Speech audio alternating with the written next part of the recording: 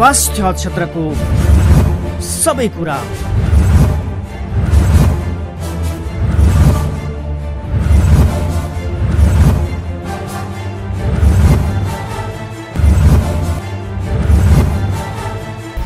कार्यक्रम स्वास्थ्य दर्पण।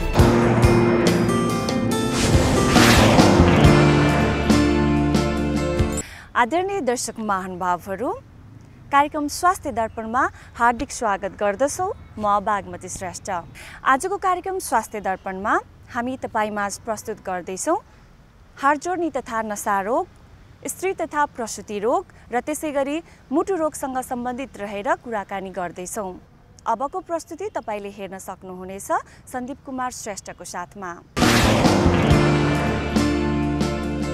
हामी स्वास्थ्य दर्पण कार्यक्रममा विभिन्न साहबहरूसँग कोभिडको प्रभावको बिचमा उहाँहरूले सेवा गर्दै गर्दाको अनुभूति सँगसँगै उहाँहरूको विज्ञताको विषय र बिरामीलाई सेवा गर्दाको विषयलाई हामी जोड्ने प्रयास गरिराखेका छौँ।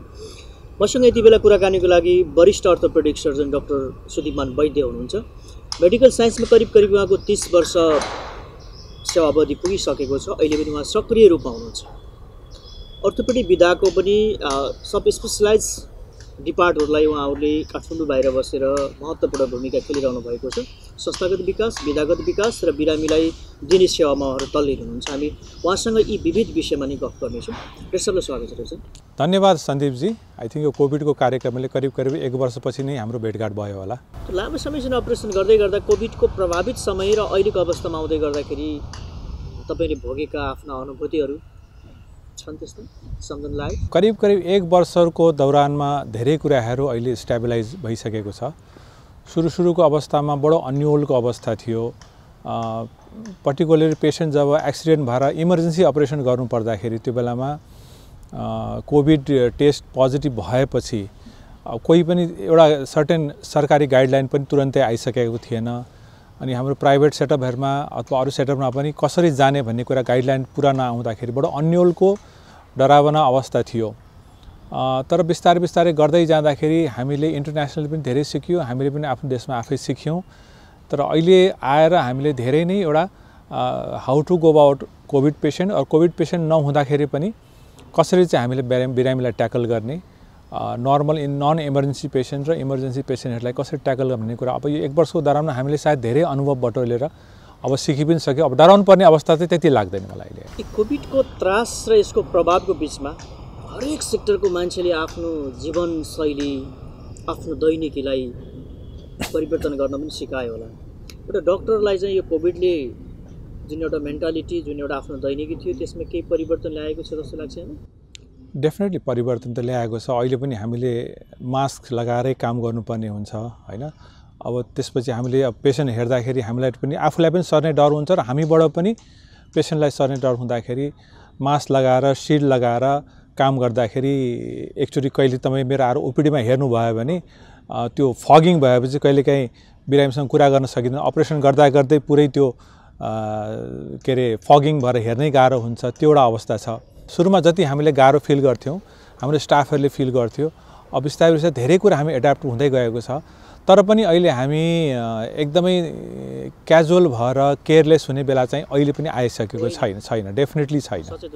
बहुत जरुरी छ। अहिले पनि केसेस आइरहेको छ सिरियस केसेस पनि आइरहेको छ। सडनली गर्नुपर्ने अपरेसनहरू जुन थियो त्यो बेला भन्यो भने कहिलेकाहीँ हामीले कोभिडको टेस्ट नै नगरिकन पनि अपरेसन गर्नुपर्ने। अवस्था आयो। जस्तो अर्थोपेडिकमा हुन त त्यो कमै हुन्छ तर पर्टिकुलरली ओपन फ्र्याक्चर भन्छ है हामीले कम्पाउन्ड फ्र्याक्चर भन्छ। त्यो भएर आएपछि पेसेन्टलाई चाहिँ हामीले छदेखि बाह्र घन्टामा आएको खण्डमा अपरेसन गर्नुपर्छ। सुरुको अवस्थामा कोभिडको टेस्ट गर्नलाई नियरली तिनदेखि चार दिन लाग्थ्यो। अब त्योसम्म वेट गर्नुपर्ने अवस्था के अरे वेट गर्न सकिने अवस्था थिएन। त्यसले गर्दा हामीलाई आफैलाई पनि त्रास थियो। त्यो बेलामा इन्टरनेसनली मिडियामा जहाँ पनि यसरी यसलाई चाहिँ प्रोजेक्ट गरिएको थियो कि अब त तुरन्तै मरिहालिन्छ कि जस्तो खालको टाइप थियो। त्यसपछि हामीसँग काम गर्ने हाम्रा अपरेसन थिएटरका स्टाफहरू उनीहरू पनि त्यत्तिकै त्रसित थिए सुरुमा। एकचोटि वार्डमा कहीँ कोभिडको पेसेन्ट राख्ने बित्तिकै सबै भागाभाग हुने भागाभाग हुने अवस्था थियो होइन। हामीले कति न्युज सुन्यौँ कि एउटा वार्डमा चाहिँ एउटा कोभिड पेसेन्ट हुने बित्तिकै त्यहाँ मान्छे ब्यानर लिएको गए पनि गएको पनि हामीले चितवनमै सुन्यौँ होइन भन्दाखेरि। त्यो कुता जान अन्जानामा कति कुरा घटनाहरू भयो त्यस्तै हामी सुरुको अवस्थामा यसको प्रचार नै यसरी भनी गरिएको थियो कि हामी चाहिँ अब चाहिँ मरिहालिन्छ कि भन्ने थियो। तर धेरै कुरामा अब हामीले प्रिकसन लिन सिक्दाखेरि हामीले हाम्रा स्टाफले हामी नर्सिङ स्टाफले हाम्रा हस्पिटल स्टाफले अब त्यति पहिले जस्तो डराउनु पर्ने अवस्था छैन। र हामीले यसबाट कसरी प्रोटेक्ट गर्ने भन्ने कुरा हामीले धेरै कुरा चाहिँ सिकिसक्यौँ। डक्टरले बिरामीलाई सेवा दिनेको सवालमा अब यसलाई त्यो सामान्यतया यसलाई आफ्नो प्रिकसन अपनाएर अगाडि बढ्नुपर्ने अवस्था। डेफिनेटली आइसक्यो अब यसले यसबाट के छैन। छैन किन यसले गर्दा योबाट त्रसित भएर हामीले बाँकीका बाँकीका रोगीहरूलाई यसरी चाहिँ नेग्लेक्ट भयो कि यहाँ मात्रै होइन अहिले हामीले रिसेन्टली मैले बिबिसीको रिपोर्ट सुनिरहेको थिएँ सिएनएनको रिपोर्ट सुनिरहेको थिएँ मान्छेहरू अरू कारणले जस्तो टाइममा क्यान्सर डिटेक्ट नभएर टाइममा डेलिभरी गर्ने पेसेन्टहरू हस्पिटल नपुगेर टाइममा भ्याक्सिनेसन नभएर अरू कारणले पेसेन्ट बढी मरेको देख्यो तथ्याङ्कबाट भन्दाखेरि अब यसलाई हामीले यसको साथसाथै हिँड्नुपर्ने हुन्छ। अब पहिले जस्तो भागेर हिँड्नुपर्ने अवस्था चाहिँ आउँदैन। हिजोको दिनबाट आजको दिनसम्म आउँदै गर्दाखेरि त्यसको विकास क्रमहरू जनशक्तिको हिसाबबाट टेक्नोलोजीको हिसाबबाट हामी सर्भिस ओरिएन्टेड कुन अवस्थामा छ? हालै तथ्याङ्क लिएको थिएँ। पूर्वमा पहिले पहिले हेर्नुभयो भने काठमाडौँ बाहेक पूर्वमा जानुभयो भने विराटनगरमा एकजना थियो अर्थोपेडिक सर्जन धरानमा एक दुईजना थियो। त्यसपछि सिधै आएर वीरगन्जमा एकजना हुनुहुन्थ्यो चितवनमा एकजना हुनुहुन्थ्यो बुटबलमा एकजना नेपालगञ्जमा एकजना। औँलामा गर्न सकिन्थ्यो काठमाडौँ बाहिर।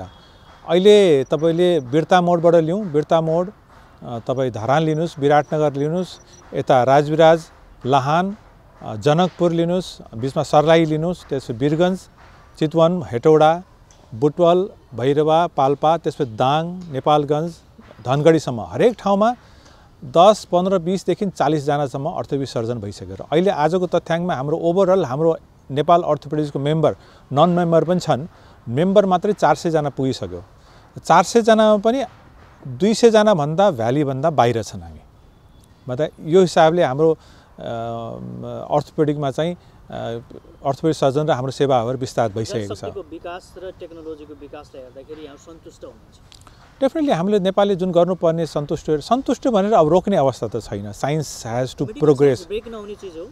Definitely it doesn't break everything every day it हामीले पढ्दाखेरि जुन कुरा राइट मानिन्थ्यो अहिले त गलत भइसकेको छ। हात र खुट्टाको फ्र्याक्चर प्लास्टर गर्नै ठुलो हुन्थ्यो भने आज रिप्लेसमेन्टमा गयो होइन रिप्लेसमेन्ट भयो रिप्लेस मात्र। अब त्यसको टेक्नोलोजीहरू धेरै डेभलप भइसकेको छ होइन? जसले गर्दाखेरि चाहिँ अब तर अहिले लकिली हाम्रो देशका हाम्रो साथीहरू अहिले जुनियर पपुलेसनले पनि राम्रैसँग त्यसलाई सिकेको छन् त्यसलाई अगाडि लगेको छन्। र वी आर सेटिस्फाइड भनौँ न। हाम्रो आफ्नै कारणले हुने हाडजोड्नीका समस्याहरू र रोगबाट हुने कारणहरू कसरी व्याख्या गर्न सकिन्छ आफ्नै कारणले भन्दाखेरि जुन तपाईँले एक्सिडेन्टलको कुरा गर्नुभएको अब एक समयमा कस्तो थियो भनेदेखि अर्थोपेडिक्स वा हार्जोनी भनेको चाहिँ फ्र्याक्चरलाई मात्रै बुझिन्थ्यो कि? थियो भन्दाखेरि त्यो एउटा भनेको अभोइडेबल या नन अभोइडेबल भन्छ। हामीले चाहँदा चाहँदै पनि एक्सिडेन्ट भन्ने कुरा कहिले हामीले चाहेर त हुँदैन। तर एक्कासी एक्सिडेन्ट भनेको नै एक्सिडेन्ट हो। इट जस्ट ह्यापन्स सडनली होइन? त्यो एउटा पार्ट हो। तर जुन कुरा हाम्रो कन्ट्रोलमा छैन त्यो भनेको एउटा ओल्ड एजमा हुने अस्टोपोरोसिस होइन? अस्टोपोरोसिसले बोनहरू कमजोर भएर हुने एउटा प्रब्लम हुन्छ जुन चाहिँ टाइम बााउन्डले हुन्छ नै हुन्छ होइन? जिरियाटिक अर्थोपेडिक भन्छ जुन चाहिँ ओल्ड एजमा हुने प्रब्लमहरू छ। त्यसपछि के अरे घुँडा खिने हिप जोइन्ट खिने त्यसलेबाट हुने समस्याहरू त्यो पनि एउटा अर्को ठुलो मासमा चाहिँ त्यो प्रब्लम छ। त्यसपछि मेरुदण्ड स्पाइन सम्बन्धी प्रब्लम छ होइन? त्यसपछि अब चाहिँ बिस्तारै स्पोर्ट्स रिलेटेड इन्जुरीहरूको विषयमा आइसकेको छ होइन? प्र पहिले पहिले हाम्रो प्रोफेसनल के अरे खेलाडीहरू कम हुन्थ्यो। अब बिस्तारै नेपालमा पनि प्रोफेसनल खेलाडीहरू धेरै भइसकेकोले अब अर्थोपेडिक्स एन्ड आर्थोस्कोपी भनेर एउटा ब्रान्च आइसकेको छ जसलाई हामी एसोन नेपाल एसोसिएसन अर्थो के अरे society of arthroscopy society of Nepal भन्ने हामीले इस्टाब्लिस गरिसकेका छौँ होइन? त्यस्तै स्पाइन सोसाइटी भइसकेको छ जोइन्ट रिप्लेसमेन्ट सोसाइटी भइसकेको छ। त्यस्तै गरी विषय अब एङ्कल जोइन्टको मात्रै आइसकेको छ ह्यान्ड सोसाइटी आइसकेको छ जस्तै यो मल्टी स्पेसालिटी डिपार्टहरू पनि युनिटहरू पनि डेभलप भइसक्यो नेपालभरिमा डेभलप हुँदैछ हुँदैछ। मतलब स्टार्टिङ भइसक्यो। यसलाई हामीले स्टार्टिङ भएपछि त्यसलाई नर्चरिङ गर्दै जानु पऱ्यो नयाँ जेनेरेसनलाई ट्रेनिङ गर्दै जानु पऱ्यो गर्नुपर्ने धेरै छ। पछिल्लो श्रृङ्खलामा विविध विषयलाई जोडौँला महत्त्वपूर्ण समयमा आफ्नो विचार राखिदिनु भयो अनुभूति राखिदिनु भयो हजुर। धन्यवाद धन्यवाद सन्दीपजी तपाईँहरूलाई। हामी स्वास्थ्य दर्पणमा वरिष्ठ स्थित तथा पशुत रोग विशेषज्ञ डक्टर केशवराज भोटेलसँग स्थित तथा पशुत रोगको विषय सँगसँगै कोभिडका केही प्रभावहरूको विषय र उहाँको अनुभूतिलाई जोड्ने प्रयास गरेका छौँ। आउनुहोस् उहाँसँग कुराकानी अगाडि बढौँ त्यसलाई स्वागत छ। धन्यवाद। आराम हुनुहुन्छ? ठिक छ। तपाईँ एउटा चिकित्सक करिब चालिस वर्षको यो सेवामा तल्लिनु हुनुहुन्छ अहिले पनि। फर्केर हेर्दाखेरि यो हेल्थ सेक्टरलाई कोभिडले कसरी प्रभाव पार्यो यहाँहरूको आफ्नो व्यक्तिगत अनुभूति कस्तो छ? अब यो त इतिहासमा नभएकै कुरा भयो भन्दा हुन्छ सन्दीपजी किनभने यो रोग कोभिड आइसकेपछि अस्पतालहरू त प्रायः बन्द जस्तै हुन पुगे। अस्पतालहरूमा बिरामी आउनु भएन। आउँदाखेरि उहाँहरूलाई चाहिँ अरू कोभिड सर्ने डरले गर्दा मान्छेहरू घरभित्रै बस्नु पर्यो लकडाउनको अवस्था रह्यो। जसले गर्दाखेरि अब बिरामीहरूले घरमै बस बिरामी घरमै मर्ने अवस्था रह्यो। कति मान्छेहरू घरमै मरे अस्पताल आउन सकेनन्। यो कुरा कोभिडको प्रभाव त यो ऐतिहासिक र यो भयावह अवस्था नै रह्यो। जसले गर्दाखेरि अहिलेसम्म पनि अस्पतालहरू पुरानो झन्डै एक वर्ष कोभिड आएको हुँदाखेरि पनि कोभिडको सङ्क्रमण अहिले बिस्तारै घटेरै गएको भन्ने अलिकति देखिँदाखेरि पनि अस्पतालहरू राम्रोसित सञ्चालन हुन सकेका छैनन्। बिरामीहरूको खास गरी प्लान गरेर अपरेसन गर्ने अपरेसन हुन्छ इलेक्टिभ अपरेसन तिनीहरू भएका छैनन्।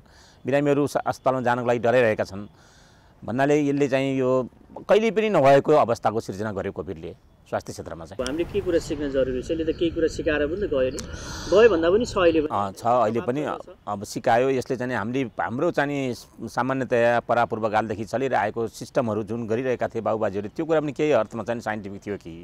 उहाँहरू हामीले चाहिँ नमस्ते नमस्ते भनेर हिँड्छौँ विदेशीहरूले हात मिलाउँछन्। हात मिलाउने कुराले अब हाम्रो बाबुबाजेहरू अलग अलग बस्ने मान्छेहरू चाहिँ नजिक नबस्ने खानामा पनि अलग्गै नुहाइदिए गरेर खाने जुन सिस्टमहरू पहिलादेखि चलिरहेको थियो त्यो सिस्टमले गर्दाखेरि अहिले ठ्याक्कै मान्छेहरू घरभित्र छिर्दाखेरि नुहाएर मात्रै छिर्नुपर्ने अवस्था आइसकेको हुनाले हाम्रो प्राकृतिक कुराहरू जुन पहिलेदेखि भएका चाहिँ ऐतिहासिक चलनहरू जुन थिए ती चलनहरू चाहिँ यो कुरा थाहा भएरै वैज्ञानिक रूपमै प्रमाणित भएर आएका रहेछन् कि भने जस्तो अनुभूति पनि भयो।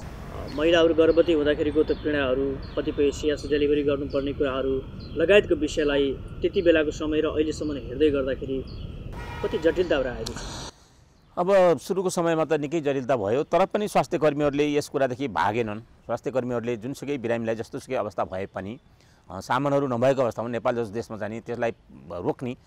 बचावट गर्ने सामानहरू पुरा नहुँदा नहुँदै पनि सबै ठाउँका स्वास्थ्य कर्मीहरूले बिरामीहरूलाई गर्भवती महिलाहरूको चाहिँ कोभिड पोजिटिभ भएको कारणले अथवा कोभिड हुन्छ भन्ने कारणले उपचारबाट टाढा भागेनन्। यो चाहिँ राम्रो पक्ष हो। उनीहरूले सेवा गरे गरि नै रहे। कोभिडको कारणले मर्ने कुरा त अलग भयो तर कोभिडको कारणले उपचार नपाएर मर्ने अवस्था सामान्यतया अब उल्लेख्य रूपमा आउन आएन। यो चाहिँ राम्रो पक्ष हो। यहाँले चालिस वर्ष यो सेवालाई निरन्तरता दिँदै गर्दाखेरि हिजोको जनशक्ति आजको जनशक्ति र त्यो डिसेन्ट्रलाइज पाटाहरूलाई विकेन्द्रीकरण दूरदराजसम्म यो सेवा पुग्दै गर्दाखेरि एउटा विज्ञको हिसाबले यसलाई कसरी हेरिरहनु भएको छ? यसमा हाम्रो कुरा हामी अब झन्डै चालिस वर्ष अगाडि यो सेवामा प्रवेश गरेर सेवा गर्दाखेरिको अवस्था र अहिलेको अवस्था र जनशक्तिको हिसाबले अरू सुविधाको हिसाबहरूले मेसिनहरू औजारहरूको हिसाबले पनि धेरै नै अगाडि गएको छ। जनशक्ति पनि धेरै अगाडि गएको छ। तर अनुशासनको हिसाबले बिरामी र डाक्टरको चाहिँ आपसमा हुने समन्वय जुन रिलेसन हुन्छ सम्बन्ध हुन्छ बिरामी र चिकित्सकको सम्बन्ध उपचार गर्ने सम्बन्ध यो कुराहरू चाहिँ अलिकता अनुशासित रूपमा अलिक कम भएको कि भन्ने हामी मलाई चाहिँ महसुस भएको छ किनभने हामीले धेरै पहिलेदेखि सरकारले पनि यो कुरामा चाहिँ कसरी जनशक्ति पुरा गर्ने जनशक्ति चाहिँ पाहाड पाहाडमा कुना कुनामा कसरी यो भएको जनशक्तिलाई व्यवस्थित गर्ने कुरामा पनि सरकार पनि जति राम्रो व्यवस्था गर्नुपर्ने गर्न खोजेको हो नसक्यो कि भन्ने लाग्छ म तपाईँलाई एउटा उदाहरण दिन चाहन्छु। म चाहिँ सत्तालिस सालमा परासीमा काम गर्थेँ दुई हजार सत्तालिस सालमा परासी अस्पतालमा म मेडिकल अफिसर थिएँ। अनि गुल्मीमा एकजना डाक्टरको चाहिँ कहीँ कारणवश दुई महिना बाहिर जानु पऱ्यो विदेश जानु पऱ्यो दुई महिना। मेरो साथी हुनुहुन्थ्यो राजेन्द्र बोरा भन्ने। अनि त्यति बेला मन्त्रालयले चाहिँ मलाई एक महिनाको लागि चाहिँ नि गुल्मीमा खाली हुन्छ भनेर कागज पठाएर एक महिना नहुन्जेलसम्म जा भनेर दुई महिना चाहिँ मलाई पठाइयो र म त्यहाँ गएँ र सेवा गरेँ। सरकारले त्यहाँ खाली हुन दिँदैन थियो। त्यो बेला पनि आजभन्दा अब भनौँ न झन्डै चाहिँ नि चालिस वर्ष अगाडिको पैँतालिस पैँतिस वर्ष चालिस वर्ष अगाडि कुरामा त्यति बेला पनि त्यो ठाउँमा खाली छ भन्ने कुरो सरकारले हेर्थ्यो। तर अहिले चाहिँ तपाईँ त्यसपछि जानु पछि भनौँ न म बिस वर्ष अगाडि गोर्खामा धादिङमा गएर मैले अनि आङखर्सीको बिरामीहरूको उपचार गरेँ। त्यहाँ जुन सेवा हामीले दिएका थियौँ तर म पन्ध्र वर्षपछि जाँदाखेरि त्यो सेवा त्यहाँ थिएन। त्यो झन् बिग्रेको थियो भवन बनेका थिए डाक्टरको सङ्ख्या थियो तर उपचार चाहिँ जुन पाउनुपर्ने बिरामी त्यो चाहिँ घटेको पाएँ। त्यो चाहिँ अब एउटा कुरा त पोलिटिकल कुरा होला राजनीतिक व्यवस्थापन राजनीतिक परिवर्तन भइराख्ने र उनीहरूले चाहिँ एउटा मान्छेले गर्छु भनेको काम बिचमै रोकिने कुरा होला। अर्को कुरो हामीले शिक्षा दिँदाखेरि पनि अलिकति अनुशासन भएर हामी स्वास्थ्य कर्मीहरू पनि बिरामीलाई सेवा गर्नुपर्छ। हाम्रो दायित्व यो हो भन्ने कुरामा कता कता चाहिँ कमी भएको महसुस हुन्छ। त्यसले गर्दा र व्यवस्थापन बस्ने मान्छेले त्यो ठाउँमा त्यो काम चाहिँ सेवा चाहिँ रोक्न हुँदैन। त्यो मान्छेलाई त्यहाँबाट हटाउनुभन्दा अगाडि त्यो मान्छेलाई त्यहाँ राखिरहनुपर्छ भन्ने कुरा चाहिँ नि अर्को मान्छेको व्यवस्थापन गर्नुपर्छ भने व्यवस्थापन गर्ने मान्छेले नसोचेर यस्तो भएको हो। नसकिने भन्ने चाहिँ लाग्दैन। मानव भरतपुरको क्षेत्रमा चाहिँ अहिले पचासजनाभन्दा बढी स्त्रीरोग विशेषज्ञ छन्।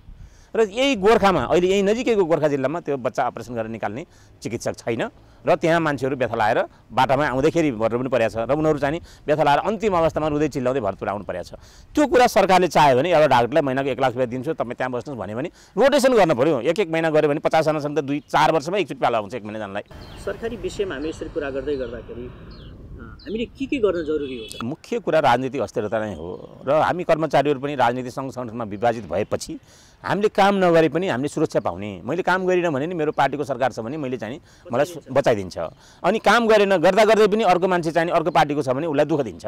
यो कुराले यो एउटा कुरा भयो मान्छेले न्याय पाएन सुशासन भएन कि। सुशासन हुनु पऱ्यो जुन मान्छे योग्य छ आफ्नो पेसामा दक्ष छ आफ्नो काम चाहिँ नियमित रूपमा गरिरहेको छ भने अरू कुराले उसलाई असर गर्नु भएन। यो एउटा कुरा भयो। अर्को कुरो सुविधाहरू पनि अहिले चाहिँ हाम्रो पालि हामी अब सरकारले पढाइदियो। सबै लगानी सरकारले गर्यो। हामी सबै जुनसुकै तह पढे पनि सरकारले पढायो। अहिले चाहिँ मेरो लेभलमा पनि डाक्टरहरूले चाहिँ एक करोडभन्दा बढी खर्च खर्च गरेर पढ्नु परेको छ। त्यसले गर्दाखेरि सुविधाको कुरा पनि होला। त्यस्ता डाक्टरलाई त्यहाँ गएर पठाउँदाखेरि अलिकति सुविधाको बन्दोबस्त पनि गऱ्यो भने नसकिने छैन। तिनीहरूले गएर त्यहाँ सेवा गरे। मैले एउटा कुरा भन्छु। म गोर्खामा मेडिकल सुपरिटेन्डेन्ट भएर एक वर्ष बसेँ सत्तरी सालमा। त्यो बेला म जाँदाखेरि एउटा पनि अपरेसन हुँदैन थियो केही हुँदैन थियो। डेलिभरी महिनामा तिसजना हुँदो रहेछ। हामी गएर सुरु गरेपछि एक महिनामा डेढ सय डेलिभरी हुन थाल्यो। हामी सबै अपरेसनहरू गर्न थाल्यौँ र पाठेघर आङ्खासीका महिलाहरूको अपरेसन गऱ्यौँ र जनशक्ति खोज्यौँ। पाइँदो रहेछ त। तर फेरि हामी फर्केर आएपछि अहिले जानुहोस् अहिले जस्ता तस्तै छ। त्यस कारणले त्यो कुरा चाहिँ हामी कहाँनिर चुक्यौँ भन्ने कुरा अब मन्त्री फेरिरहने सरकार फेरिरहने नेता मतलब अब डाइरेक्टरहरू फेरिरहने र चाहिँ त्यसले सोचेर म यसरी प्लान गर्छु भन्ने कुरा नभएर हो कि? यसलाई चाहिँ अलिकता सोचिएन भने हामी जनशक्ति प्रशस्त हुन्छ। सरकारको लगानी पनि धेरै नै धेरै लगानी छ। तर त लगानी अनुसारको प्रतिफल चाहिँ जनताले जति पाउनु पर्ने त्यति पाएका छैनन्। मन्त्रालयमा सबै विभागमा विज्ञहरू हुनुहुन्छ। तपाईँहरू जस्तो निजामती भएर त्यहाँ पुग्नु भएको छ। नजानेर नबुझेर होला र यस्तो? त्यही कुरा कारण त्यही छ। त्यहाँ त्यहीँनिर भएको छ। भनौँ कुनै चिकित्सक चाहिँ नि सरकारले पढाइदियो यत्रो खर्च गरिदियो उसले रोजेको विषय पढाइदियो एउटा स्त्रीरोग विषय बनाइदियो सरकारले पढाइदिएर सरकार उसले व्यक्तिगत रूपमा पढेको भए उसले एक करोड खर्च हुन्थ्यो। ऊ त्यति गरिदिइसकेपछि उसलाई जाने बेलामा अब जुम्ला पठाउनु पऱ्यो जुम्लामा आवश्यक छ। तर के हुन्छ त? ऊ त्यो सांसदको मान्छे पर्छ कि सरकारवालाको? कसको मान्छे पर्छ कि? उसले चाहिँ म त्यहाँ जान सक्दिनँ फलान ठाउँ जान्छु। ल भन्दा पठाइदिए। अनि हो त्यो कुराले बिग्रेको छ। त्यो कुरा कन्ट्रोल गर्नलाई व्यक्तिगत सुविधाको लागि हामी अब तपाईँ जस्तो विज्ञको बिचमा रहँदै गर्दा क्लिनिकल कुराहरूलाई पनि गरौँ। हिजो तपाईँहरूले चाहेर पनि गर्न नसक्ने धेरै अपरेसनदेखि उपचारहरू महिला रोगको विषयमा। आज त्यो चिजहरू सरल ढङ्गले गर्न सक्ने के के विषय हुन्छ होइन धेरै फरक छ नि। मेरै चितवनकै कुरा गरौँ। म स्त्रीरोग विशेषज्ञ भएर म त्रिपन्न सालमा चितवनमा आएँ। मेडिकल कलेज पनि थिएन प्राइभेटमा एउटा पनि अस्पताल थिएन। त्यो बेला आउँदाखेरि हामीले पाठेघर फाल्ने अपरेसनको लागि डाक्टर जागेश्वर गौतममा थियौँ। पाठेघर फाल्ने अपरेसनको लागि हामीले एक वर्षपछिको डेट दिन्थ्यौँ। मान्छेहरू गोर्खा लम्नु तनहुँ कहाँ कहाँ देशभरिबाट आउँथ्यो भने जहाँ गर्न सक्छ।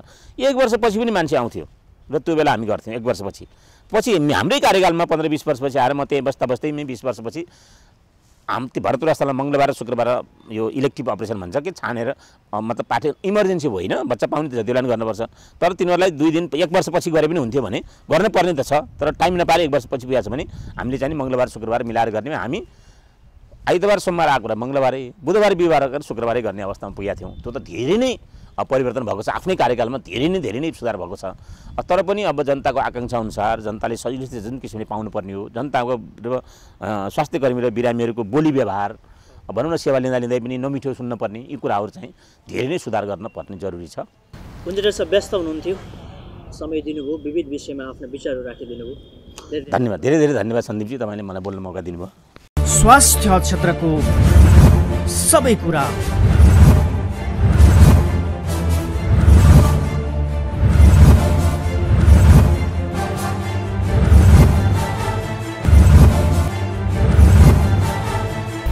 कार्यक्रम स्वास्थ्य दर्पण। आदरणीय दर्शक महानुभावहरू तपाईँ कार्यक्रम स्वास्थ्य दर्पणमा विभिन्न रोगका विषय विज्ञहरूसँग गरिएको कुराकानी हेर्दै हुनुहुन्छ। अबको प्रस्तुतिमा पुनः तपाईँ हेर्न सक्नुहुनेछ सन्दीप कुमार श्रेष्ठको साथमा। दर्शकहरू हामी विभिन्न रोगका विज्ञहरूसँग सम्बन्धित रोग र केही कोभिडका प्रभावको विषय र उहाँहरूको अनुभूतिलाई जोड्ने कोसिस गरिराखेका छौँ। यति बेला मसँग वरिष्ठ मुटु रोग विशेषज्ञ डाक्टर शङ्कर लौरारी हुनुहुन्छ। हामी उहाँसँग मुटु रोगीका बिरामीको यो कोभिडको बिचमा कस्तो प्रभाव रह्यो र डक्टरहरूको आफ्नो अनुभूति कस्तो रह्यो यी यी लगायत विविध विषयमा हामी गफ गर्दैछौँ। आउनुहोस् अगाडि बढाउँ। डाक्टर सबलाई स्वागत छ। हस् धन्यवाद। नमस्ते। आराम हुनुहुन्छ? आरामै छु। यो कोभिडको बिचमा यहाँहरूले बिरामीलाई सेवा दिँदै गर्दाखेरि बिरामीका आफ्नै समस्या रहे चिकित्सकको आफ्नै समस्या रहे कोभिडका प्रभावहरू सबै ठाउँमा रह्यो। यो समग्र विषयलाई मध्यनजर गरेर आफूलाई सम्झाउँदाखेरि कस्तो अनुभूति छ? म एक मुटु रोग विशेषज्ञ भएको हुनाले मुटु रोग सम्बन्धी बिरामीहरूलाई कोभिड नाइन्टिनको कारणले गर्दाखेरि हुने समस्याहरू त्यस्तै गरेर कम्प्लिकेसनहरू अर्थात् तिनीहरूको प्रेजेन्टेसन करिब थ्री टु फोर टाइम्स बढी हुन्छ। त्यस कारणले गर्दा पनि तिनै पुराना बिरामीहरूलाई कुनैलाई सास फेर्न गाह्रो हुने कतिलाई ज्वरो पनि लिएर आउने कसैलाई चाहिँ अन्य पुरानो कोमर्बिडिटिज भन्छौँ जस्तो मुटुका बिरामीहरूलाई डायबिटिज हुनसक्छ हाइपरटेन्सन हुनसक्छ त्यस्तै मुटुका कोर्नरी आर्टरी डिजिज सम्बन्धी रोगहरू हुनसक्छ। यी यावत समस्या भएको हुनाले कोमर्बिडिटिज भएको हुनाले यस्तालाई कोभिड नाइन्टिनले फेरि एट्याक हुने सम्भावना अत्यधिक देखियो। त्यही हुनाले कति बिरामीहरू हामीले ओपिडीमा हेरौँ कति इनपेसेन्ट कति आइसियु सिसियुमा हामीले भर्ना गरियो। त्यही हुनाले अहिले पनि त्यो क्रम चाहिँ जारी नै भएको हामीले देखिन्छ। र प्रायःजसो बिरामीहरू चाहिँ अब हामीले रिकभर भएको नै देखियो भने कति बिरामीहरूलाई चाहिँ बेस्ट उपचार दिँदा पनि हामीले बचाउन नसकेको पनि हामीले महसुस गऱ्यौँ। तपाईँको व्यक्तिगत त्यस्तो तपाईँलाई छुने खालको केही कुनै पनि समस्या लिएर आयो भने यो कोभिड नाइन्टिन नै भएको हो कि योसँग रिलेटेड कम्प्लिकेसनहरू प्रेजेन्टेसन लिएर आउनुभएको हो कि बिरामीहरूले भनेर चाहिँ हामीलाई त्यो महसुस हुन्थ्यो। र अब हामीले आफ्नो तर्फबाट आफू प्रोटेक्सन लिने कुरा त भयो तैपनि अब एउटा फ्यामिलीमा हामी पनि बस्ने भएको हुनाले अब त्यो बिरामीहरूलाई त्यो रोगको चिन्ता त भइरहेको त्यो माथि अब हामीहरूलाई पनि त्यो रोग सर्ने हो कि? र यदि हामीलाई सर्यो भने आफूलाई सर्नु मात्र ठुलो कुरा भएन कि त्योबाट एउटा फ्यामिलीमा अन्य ससाना बालबच्चाहरू अर्थात् बुवा आमाहरू प्रत्येकको घरमा हुनुहुन्छ उहाँलाई पनि सर्ने हो कि? अर्थात् आफ्नो नजिकका साथीभाइहरूलाई पनि सर्ने हो कि भन्ने चाहिँ एउटा प्रश्न र अलिकति तनाव चाहिँ हामी हामीलाई सधैँ रहि नै राख्छौँ आफ्नै पेसाप्रति आफूलाई कस्तो महसुस हुन्थ्यो? पर्सनल्ली मैले अब लामो समयदेखि चिकित्सा शास्त्रमा क्षेत्रमा मैले कार्य गरिराखेको हुनाले र यस्ता फिभरका बिरामीहरू र अनेक कम्प्लिकेटेड केसेसहरू हामीले हेरेको हुनाले पर्सनल्ली मलाई खासै ठुलो असर चाहिँ पारेन। तर एउटा जुन ग्लोबल न्युजमा कोभिड नाइन्टिन जुन पेन्डेमिसिटी जुन रूपले प्रेजेन्टेसन गरेको थियो र हाम हामीले चाहिँ अलिकति अरू रोगहरूको नेचरल हिस्ट्री र डिजिज पनि हामीलाई थाहा भएको हुनाले र त्यसको मृत्युदरहरू पनि जस्तो मर्स भन्ने एउटा मिडल इस्ट रेस्पिरेटरी सिन्ड्रोम भन्ने एउटा भाइरस छ त्यसको मोर्टालिटी करिब चालिसदेखि पचास प्रतिशत छ। त्यस्तै इबोला भाइरसको पचासदेखि साठी प्रतिशत छ। त्यसै गरेर इन्फ्लुएन्जा भाइरसहरूको पनि केही प्रतिशत छ भने यसको ओभरअल विश्वको आँकडा हेर्दाखेरि करिब एकदेखि चार प्रतिशत देखियो भने कति नेपाल जस्तो देशहरूमा लेस देन वान पर्सेन्ट यसको चाहिँ मोर्टालिटी अर्थात् फेट फ्याटालिटी रेट भन्छौँ त्यो देखियो। त्यस कारणले गर्दाखेरि पर्सनल्ली मलाई चाहिँ आफैलाई डर चाहिँ खासै थिएन। इन्फेक्सन भए पनि usually eighty eighty five percentage पब्लिकहरू चाहिँ अर्थात् पेसेन्ट्सहरू चाहिँ आफै रिकभर भएको हुनाले अलिकति सिम्टोमेटिक निमोनिया अर्थात् अन्य कार्डियक कम्प्लिकेसन भयो भने मात्र अलिकति चिन्ता हुन्छ। नभए चाहिँ यो रिकभर हुन्छ भनेर चाहिँ हामी विश्वस्त थियौँ। तर एक खालेका जुन पेसेन्टहरू हुन्छ हामीले कार्डियक पेसेन्ट नै हेर्ने भएको हुनाले र उहाँहरूलाई चाहिँ डायबिटिज हाइपटेन्सिभ छ कोरोनरी आर्टरी डिजिज मुटुको रक्तनली सम्बन्धी रोगहरू छ अथवा मुटुको हार्ट फेलर छ त्यस्तै क्यान्सरका बिरामीहरू छन् इम्युनो कम्प्रोमाइज्ड पेसेन्टहरू छन् भने उहाँलाई चाहिँ कोभिड नाइन्टिनको इन्फेक्सन भयो भने त्यसको कम्प्लिकेसन आउने सम्भावना अत्यधिक छ र कम्प्लिकेसन आएको खण्डमा फेरि मृत्युदर पनि बढेर जान्छ। यस कारणले गर्दा हामीलाई अलिकति चिन्ता चाहिँ थियो। कार्डियोलोजीको विधाभित्रै जाउँ। अहिले नेपालभरि यहाँहरूको जनशक्तिको अवस्था कति जति छ? कार्डियोलोजिस्ट अब ट्याक्कै यति नम्बर भन्ने चाहिँ छैन तर मेरो विचारमा हजारौँमा हुन सक्छौँ। अब तर मेन कार्डियोलोजिस्ट भनेर नै प्र्याक्टिस गर्ने चाहिँ हामी सयौँको नम्बरमा छौँ होला यदि हामीले कार्डियक सोसाइटी अफ नेपालको डाटा कार्डियोलोजी र कार्डियोलोजीसँग जोडिएको विधा र बिरामीलाई सेवा गर्दाखेरि त्यसको टेक्नोलोजीसँग यहाँहरूको भूमिका हुन जरुरी छ? यहाँहरूको विज्ञतालाई टेक्नोलोजीले सपोर्ट गरेर बिरामीको उपचार गर्नु पर्ला? एक्ज्याक्टली त्यो अब आवश्यक छ। अब कार्डियोलोजीमा विशेष त यो कोभिड नाइन्टिनको कारणले गर्दाखेरि अलिकति प्रभावित बिरामी भनेको जस्तो क्याथल्याबसँग रिलेटेड बिरामी अर्थात् जसलाई चाहिँ हार्ट सर्जरीहरू चाहिन्छ ती बिरामी चाहिँ प्रभावित पाए।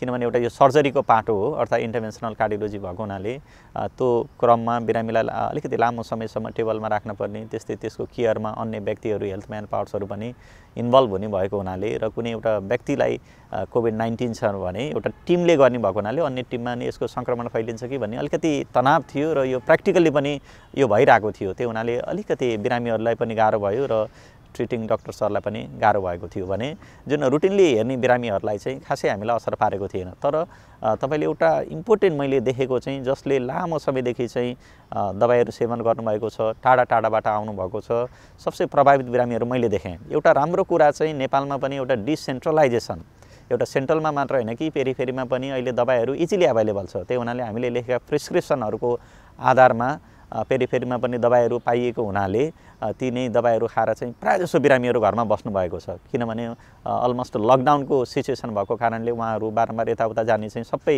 प्रभावित भएको थियो।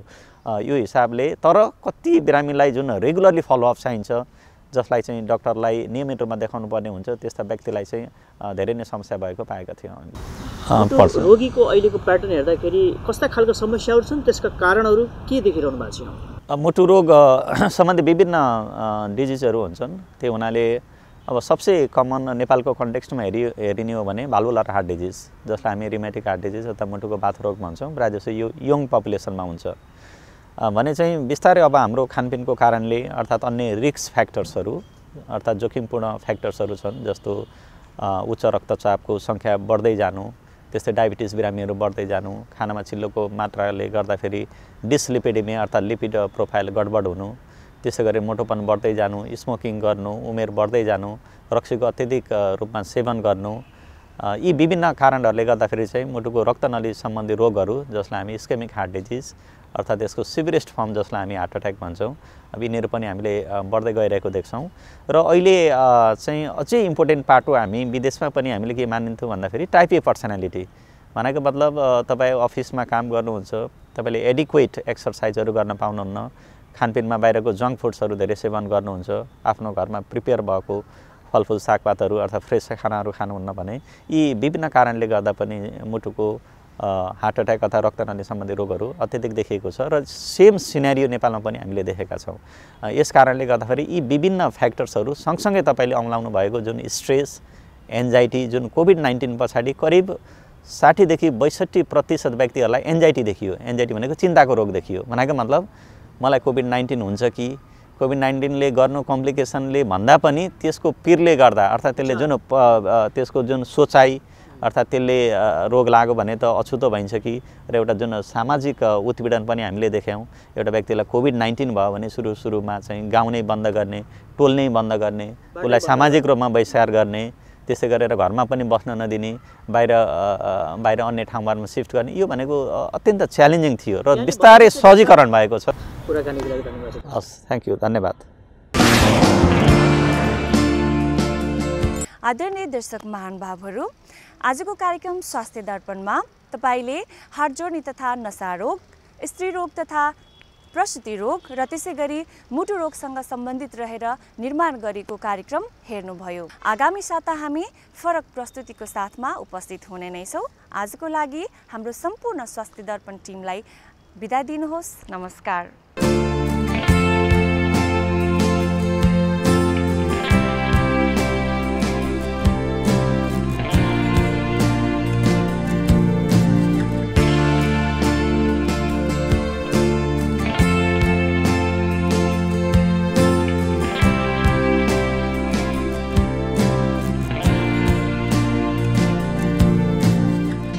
स्वास्थ्य क्षेत्रको सबै कुरा।